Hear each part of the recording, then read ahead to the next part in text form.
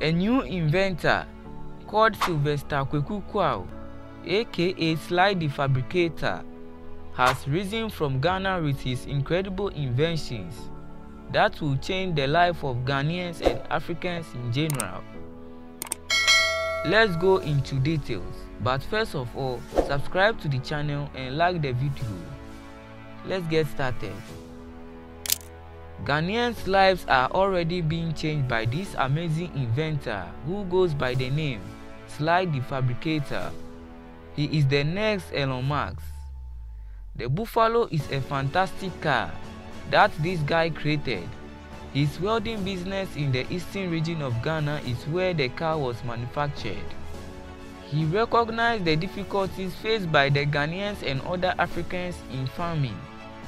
So he created the car specifically for farmers because of how they bear enormous burden on their heads.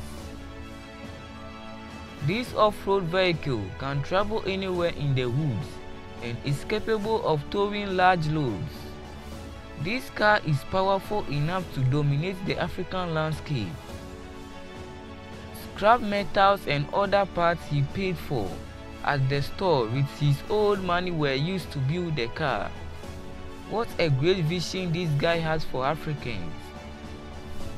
In addition to building automobiles, he has also constructed agriculture equipment to aid struggling local farmers.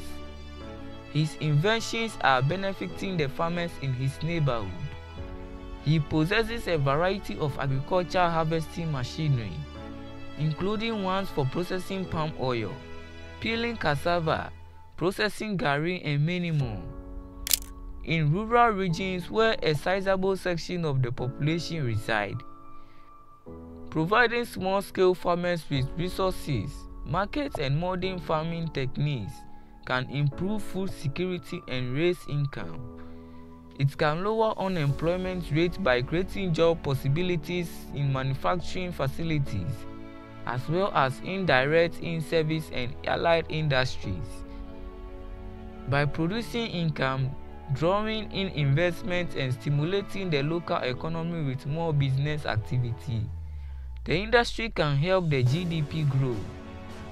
Because the production of cars demands a competent labor force, the area's workforce is more employable thanks to technical training and skill development program of this young inventor. The youth will benefit. His car and equipment are incredible and he hopes the government will invest in him as well as investors supporting the idea.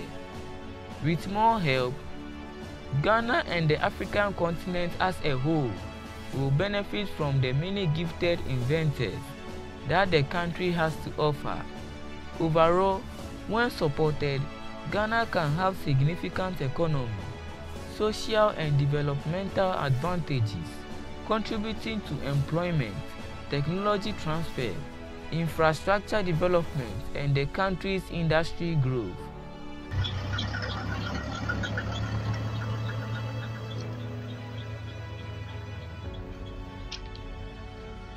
Start